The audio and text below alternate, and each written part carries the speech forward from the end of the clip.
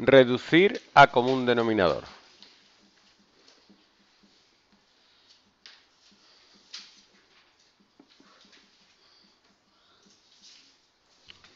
Si yo tengo dos fracciones como esta,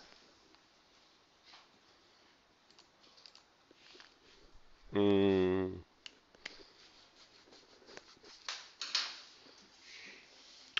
tres cuartos y dos sextos. Reducir como un, denominador consiste en escribir las fracciones que tienen el mismo valor, pero tienen un denominador que es el mismo lado. 1, bueno, se puede hacer por la cuenta la vieja, que sería así. Voy amplificando, multiplico por 2, 6, multiplico por 2, 8. Esta multiplico por 2, 4, multiplico por 2, 12. Esta multiplico por 3, 9. Esta multiplico por 3, 12. Ya las dos tienen el mismo denominador. ¿Vale? Pero así es muy lento y farragoso. Y si el número es muy grande, puede ir a 3 años para hacerlo. Entonces, una manera mucho mejor que es esta. 1. Hacer el mínimo como un múltiplo de los denominadores. ¿Cuál es el mínimo común múltiplo de 4 y 6? 12. Y tengo que escribir. Escribir fracciones equivalentes.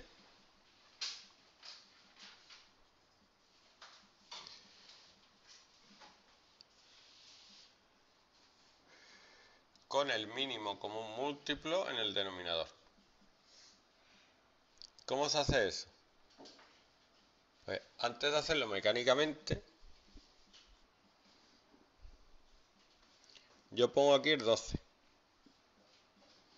Y digo, divido entre el de abajo, 12 dividido 4, ¿cuánto es? 3. Y multiplico por el de arriba, 3 por 3, 9. 12 dividido 6, 2. 2 por 2, 4. Eso es como un denominador. Qué difícil es.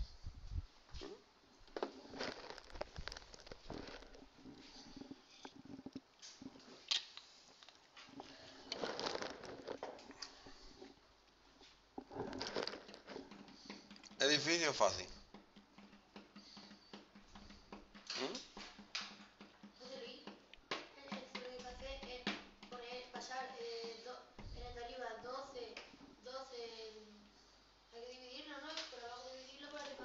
Dividir entre de abajo y multiplicar por el de arriba. ¿Otro? Sí, porque yo de esto no me ¿De qué? ¿No te enterado? De lo de reducir a común ¿Pero de qué no te has enterado? Lo último, lo de abajo, lo de... 12 entre 4, 3. 3 por 3, 9. Divido entre este y multiplico por este. ¿Y de dónde sacas el 12? El 12 es mínimo con múltiplo. Ah, vale, vale, que estoy explicándolo a la pared. Está clarísimo. Ningún profesor va a decir esto, pero yo explico perfectamente porque soy ingeniero. O sea, yo no me equivoco. No me equivoco y además lo hago perfectamente. Para que lo entienda un cerebro humano. Eso no lo va a decir ningún otro profesor. No, es que es difícil. Hombre, puedes no enterarte. No, no, no. ¿Qué me estás contando, Guillo? Esto es, es así, tiene que ser así, no tiene ninguna complicación. Al final acaban dos fracciones que tienen el mismo denominador, ¿lo o no? Otra. Siempre lo mismo, esto no... No es ni fácil ni difícil. Tres décimos y cuatro quinceavos.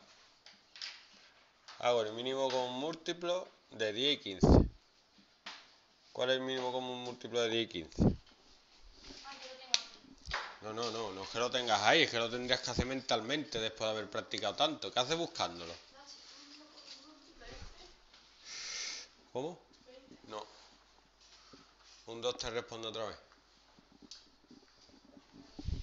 30. 30. Y ahora escribo Vamos, que si no lo tenéis que hacer, si no tenéis que hacer esto. Y punto. No, no hay otra. Esto es 2 por 5, esto es... Muy he puesto 10 y 30. 10 y 15. Y esto es 3 por 5. Mínimo múltiplos son comunes, el 5 y no comunes. El 2 y el 3, al mayor exponente. 5 por 2, 10 por 3, 30. Entonces pongo aquí el 30 y aquí el 30. Y digo 30 entre 10 por 3, 9. Pongo el 9 aquí. 30 entre 15.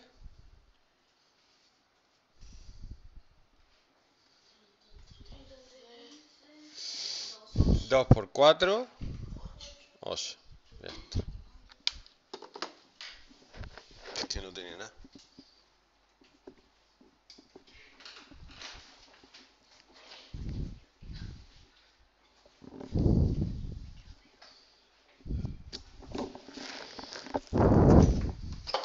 ¿Cómo aprendí yo? Practicando. Nosotros teníamos clases de 3 a 5 de la tarde por la tarde el profe nos ponía, venga y hace operación. Y él mientras se fumaba un cigarro.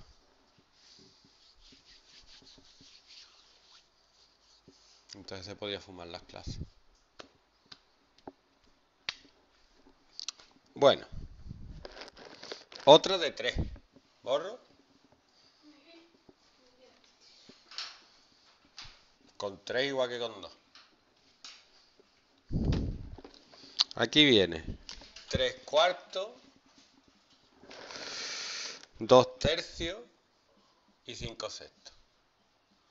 ¿Qué hago? Mínimo con un múltiplo de 4, 3 y 6, que todo el mundo sabe que es 12. Y ahora escribo 3 cuartos, el 12. 2 tercios, el 12. 5 sextos, el 12. Y ahora hago 12 entre 4 por 3, 9. 12 entre 3 por 2, 8.